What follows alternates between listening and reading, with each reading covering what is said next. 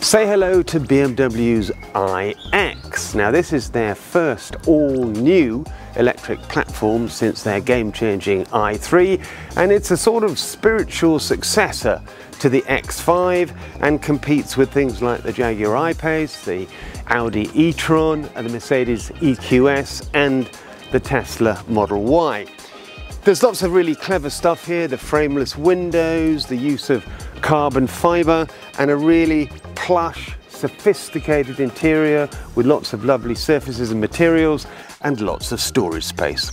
There's a lot happening on the three screens in front of you and sometimes you feel like you're looking at a desktop computer circa 2001. Like all EVs, the interface will take getting used to and trying to dive into all the myriad different menus while you're driving definitely isn't recommended.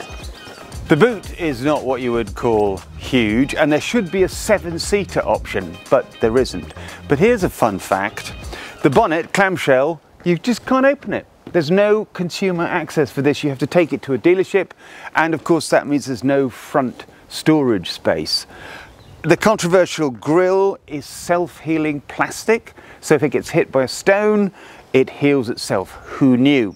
And the only maintenance job on an electric car you ever need to do, which is of course washer fluid, you press the BMW roundel. Clever.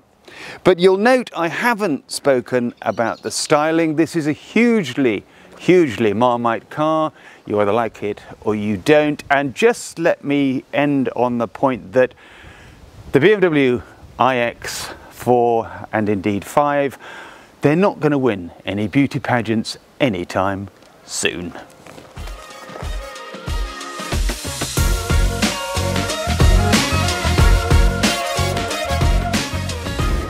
So there are two variants, there's the iX40 and the iX50. I'm driving the 40 today.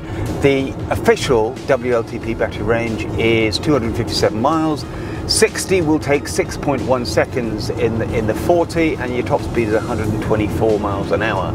It costs 70 grand for the 40 and if you want the 50 which has more range, bigger battery, air suspension is a bit quicker, you'd have to shell out an extra 20 grand. So that puts these at almost Range Rover price points. And it makes me say that the Model Y, the Tesla Model Y, which has just been announced today, as the world's best-selling electric car at 50 grand, that seems almost, well, reasonable. It does drive very, very well indeed. It's poised, it's brisk, it's smooth. Some people have said the ride quality isn't very good. I think it's fine, and if you want better, you'd have to shell out a bit more for the i50 with its air suspension. Steering's beautifully weighted, and even this weird-looking steering wheel is actually a delight to use. It's quick, but it's not as quick as those Teslas, which come in at under four seconds sometimes. The problem for me is the range. Now, I've been driving in, in mild weather and I'm struggling to get much more than 200 miles to one charge. So, if it gets deep and crisp and even and the temperature drops, we know all batteries are less efficient at lower temperatures. So in real world driving, you might only be getting, what, 170, 180 to one charge. And look, call me old fashioned, but if you laid out 80 large for an electric SUV, you might be scratching your head a bit at 170 to one charge. Don't get me wrong, in many ways this is a very clever, sophisticated and technically audacious effort. But it was probably planned, what, five, six years ago, and the world's done lots and lots of revolutions since then. And it's out of kilter with this global demand for small and affordable. Less definitely is more these days.